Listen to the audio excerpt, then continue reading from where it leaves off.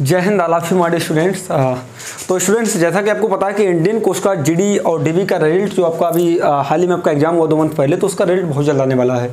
Actually क्या हुआ? काफ़ी समय से लगातार तभी ठीक नहीं चले, थोड़ा, है ना हेल्थ प्रॉब्लम की वजह से आपको लेक्चर्स नहीं मिल पा रहे थे, है ना? तो बाकी दो सर अनुराग सर के लेक्चर आ रहे थे, उनके भी लगातार आते रहेंगे इसी तरह से। बाकी आज से हमारे भी लेक्चर डिवाइड आएँगे। तो सबसे इंपॉर्टेंट जो है न्यूज़ के साथ आज हम पाकिस्तान उतरे हैं, जिसका नाम है इंडियन कोस्ट का डॉक्यूमेंट वेरिफिकेशन देखिए, आपको पता है कि आपके पंद्रह तारीख, यानी पंद्रह अप्रैल को आपका फ़िलहाल अभी कोस्ट गार्ड की ऑफिशियल वेबसाइट पर जिन्होंने टाइम दिया है, वो पंद्रह तारीख को, यानी पंद्रह अप्रैल को रिज़ल्ट आने का टाइम है। पंद्रह अप्रैल, है ना? को आपका रिज़ल्ट आने की जो है टाइम है। किस टाइम आ उसके बारे में इन्फॉर्म कर दूँगा। लेकिन सबसे इंपॉर्टेंट चीज़ है डॉक्यूमेंट्स भाई, जिन स्टूडेंटों के पास अगर ये डॉक्यूमेंट्स नहीं है तो वो अभी से ही बनवा ले। कौन से? जो मैं आपको बताऊँगा, है ना? वरना आपको बाहर कर दिया जाएगा इंडियन कोस्ट का डॉक्यूमेंट वेरिफिकेशन ये इंपॉर्टेंट न्यूज़ है, मैं आपको बता रहा हूँ बार बार अभी से ही बनवा लो जिसके पास नहीं है है ना? अभी से ही बनवा लो जिसके पास डॉक्यूमेंट्स नहीं है। बार बार आपको इस चीज़ के बारे में बता रहे अब वो क्या है डॉक्यूमेंट पंद्रह तारीख को रिज़ल्ट आ जाएगा, उसके बाद आपका तुरंत फ़िज़िकल होगा लगभग आठ से दस दिन के अंतराल में। और डॉक्यूमेंट्स बनने में केवल टाइम लगता है दस से बारह दिन। है तो अभी से बनवा लो।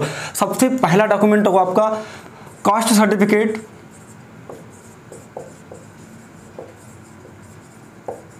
ओरिजिनल होना चाहिए। देखिए, इससे पहले कोस्ट गार्ड सेंट्रल वाला माँगता था। इससे पहले वो उसे सेंट्रल कोर्स सर्टिफिकेट चाहिए था, लेकिन इस बार उसने ऐसा कुछ अनाउंस नहीं किया। लेकिन मैं आपसे यही बोलूँगा कि अपना जो कोर्स सर्टिफिकेट बनवाओ भैया, वो सेंट्रल वाला बनवाओ। कौन सा सेंट्रल आपका सेंट्रल कोर्स सर्टिफिकेट होना चाहिए। कोस्ट गार्ड केवल सेंट्रल वाला एक्सेप्ट करता है स्टेट वाला एक्सेप्ट नहीं करता, ठीक है? तो आप अभी से ही बनवा ले अगर आपके पास नहीं है। और मैं आपको बता दें, ये केवल केवल टू ईयर के लिए वैलिड होता है।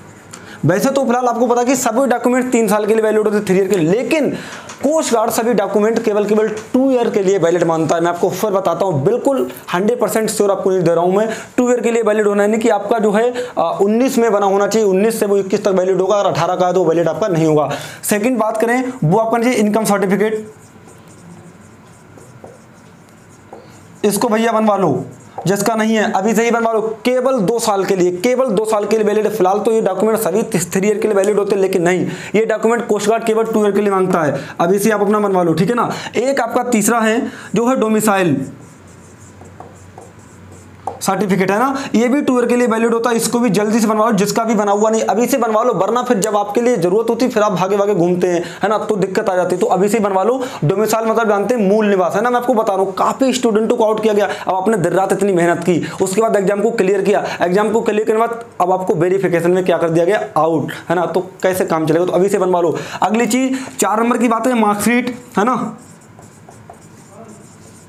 भैया ट्वेल्थ की मार्कशीट ओरिजिनल होनी चाहिए। जिन स्टूडेंटों का कहना कि उनका इंजीनियरिंग कॉलेज में डॉक्यूमेंट्स जमा है तो उनका वेरिफिकेशन नहीं होगा, मैं आपको बता रहा हूँ। अपने मंगवा लो भी आपके पास टाइम है। है ना? काफ़ी स्टूडेंटों को फ़ोन आया कि, सर, हमारा कहीं मध्य प्रदेश में जमा है कि वहाँ हमारे डॉक्यूमेंट जमा तो भाई मंगवा लो, वरना वेरिफिकेशन आपका बिल्कुल नहीं होगा। मैं आपको बता रहा हूँ, डॉक्यूमेंट वेरिफिकेशन चाहिए, उसको लिखित में नहीं, ओरिजिनल डॉक्यूमेंट चाहिए हैं। इसके बाद मैं आपको बता मार्क्स आपकी ट्वेल्थ एंड टेंथ के लिए।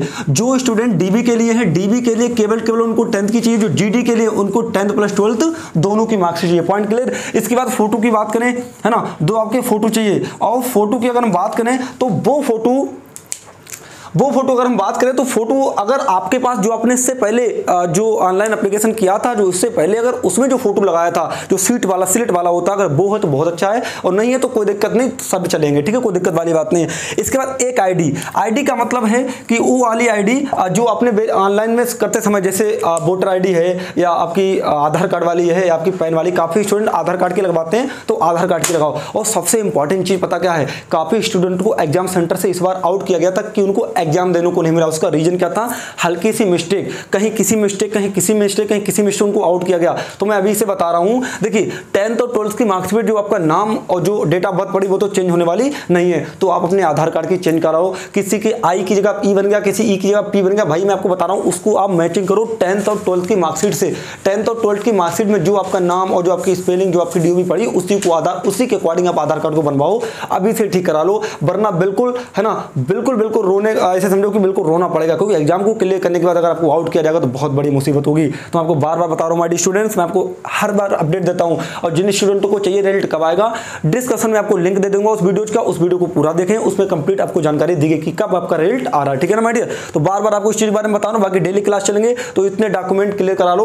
मैंने बोला, ये सबसे बड़ा मुद्दा है, ये ये, इसके चक्कर में स्टूडेंट बहुत आउट ये सेंट्रल कॉस्ट होना चाहिए। फ़िलहाल कोस्ट गार्ड ने इस बार ऐसा कोई नोटिफिकेशन नहीं दिया, लेकिन ना तब भी होना चाहिए। अगर स्टेट का है तो उसे सेंट्रल का चाहिए तो आउट कर देगा, लेकिन आपको उसे स्टेट का चाहिए तो सेंट्रल उसमें इंक्लूड हो जाता है, ठीक है ना? तो आपको सेंट्रल वाला चाहिए। मैं आपको फिर बता रहा हूँ काफ़ी स्टूडेंट को ऐसी प्रॉब्लम्स होती हैं, ठीक है? तो ये इन्फॉर्मेशन थी तो अभी से डॉक्यूमेंट जो है तैयार करवा लें, बाकी वीडियो को बम्फर शेयर कर दें, ठीक है माई डियर मिलते हैं नेक्स्ट सेशन में। जय हिंद, जय भारत।